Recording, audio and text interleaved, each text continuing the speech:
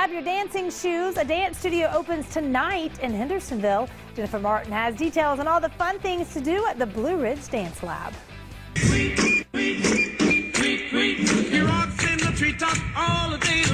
Grab your partner and swing them round and round in a brand new one stop shop for social dancers. We want anyone of any kind of style, range, skill level to feel comfortable walking in here. Called the Blue Ridge Dance Lab, the new Hendersonville spot is the brainchild of three swing dancers. We realized that there was no one location for everything from salsa to swing to contra even.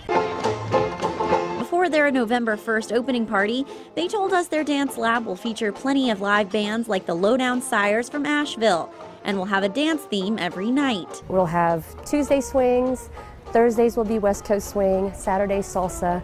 We're also doing Zumba Tuesday, Wednesday, and Thursday. We're in the works with talking with a lot of really world-renowned instructors right now, so we are very, very excited. Those social events will offer hour-long lessons before dancing starts with tips like this. Basically, your feet in swing are always going to be moving in a triple step pattern. Rock, step, triple step, triple step, rock, step.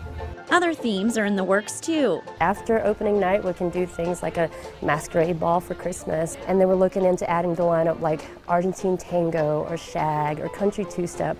And of course, themed outfits are highly encouraged. We love dressing up. We love finding new ways to celebrate dance. In Hendersonville for Scene on 7, I'm Jennifer Martin. The Blue Ridge Dance Lab is at 141 Twin Springs Drive in Hendersonville, and you can find a list of upcoming dance events over on their Facebook page.